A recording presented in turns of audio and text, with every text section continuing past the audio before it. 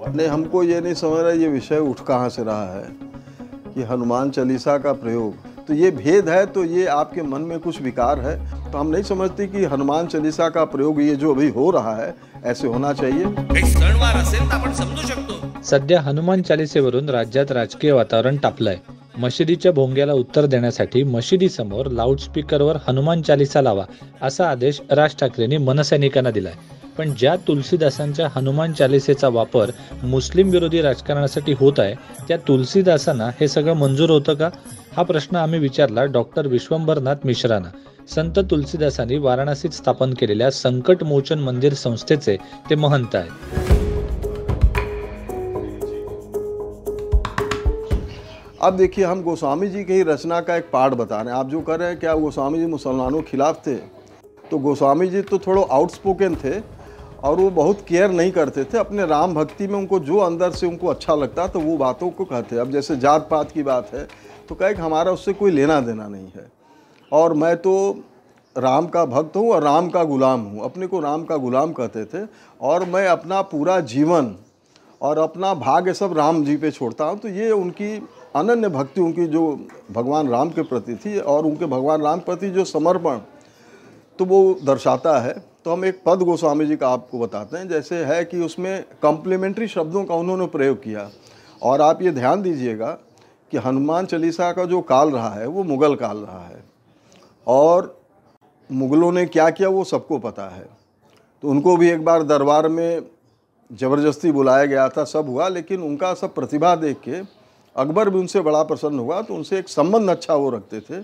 अच्छा उस समय जो उनको इतनी प्रताड़ना मिली कि जैसे उस समय का जो समाज रहा और उसमें प्रोमिनेंस ब्राह्मण्स का था तो उन्होंने कहा था कि इनको किसी भी तरह हम लोग यहाँ स्थापित तो नहीं होने देंगे। और गोस्वामी जी का रहा कि तुम्हारे दबाव में अपनी बात तो मैं नहीं बदलूँगा।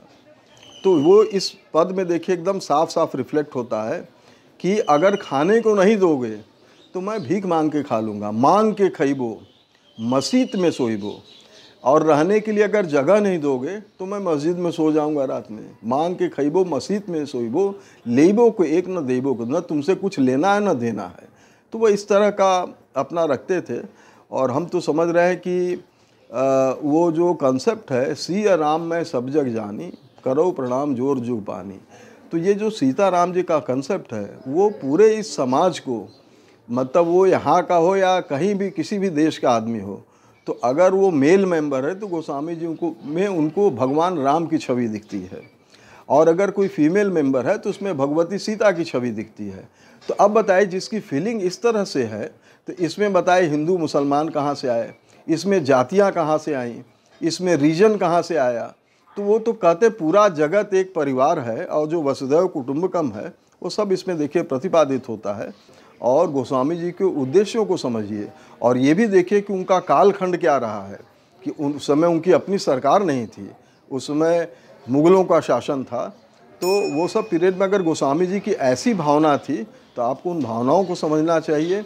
और ये देश देखिए बहुत ही विराट है, इसके इतने वेरिएशंस हैं, आप उत्तर से दक्षिण जाइए, पूरब से पश्चिम जाइए, इतनी जातियाँ आपको मिलेंगी, इतने कम्युनिटीज़ मिलेंगे, इतने पंथ मिलेंगे, इतने भाषाएँ मिलेंगी तो वो सब का अब जैसे भाषा के मामले में गोस्वामी जी ने एक तरह से अपनी भाषा डेवलप की और उस समय जो प्रचलित भाषाएँ थी यहाँ की क्षेत्रीय, सबका उन्होंने समावेश किया। और उर्दू का भी खूब जम के उसमें उर्दू और आपका फारसी शब्दों का खूब प्रयोग किया अपने रामचरित रामचरितमानस में। जैसे गरीब शब्द है, नेवाजू और मसीत, ये सब जो है आपके फारसी शब्द है। तो देखिए, खूब धड़ल्ले से उन्होंने अच्छा कहीं उनके लिए कुछ बैरियर नहीं था। नहीं, हमको ये नहीं समझ रहा ये विषय उठ कहाँ से रहा है, कि हनुमान चालीसा का प्रयोग।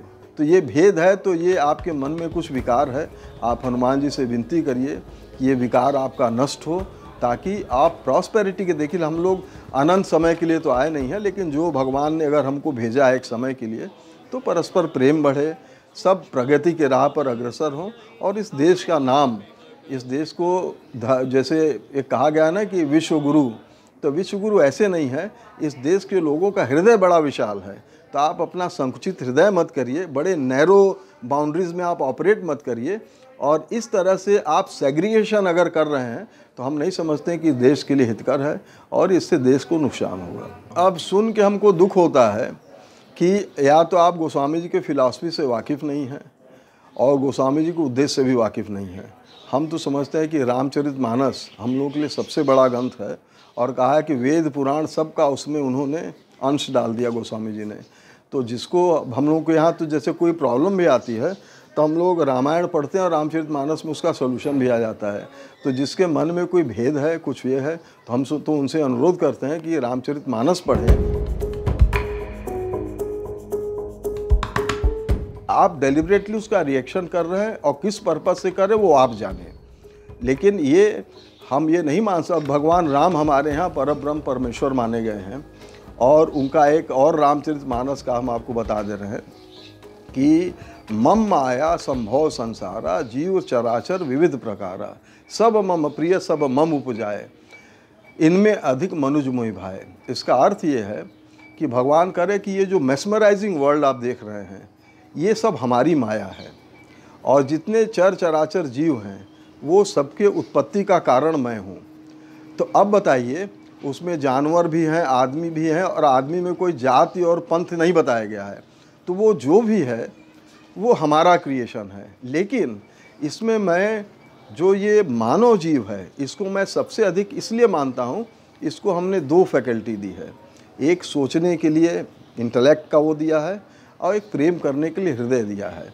तो हम ये मान के चलते हैं कि हमारा जो ये माया है, उसका वो रेस्पेक्ट करेंगे और सारे इंडिविजुअल्स को अपने ग्रेस के साथ, समाज में अपने इज़्ज़त के साथ उनको जीने का अवसर रहेगा। क्योंकि देखिए, हमारे हाथ में क्या है? उसी में एक हम भी एलिमेंट है।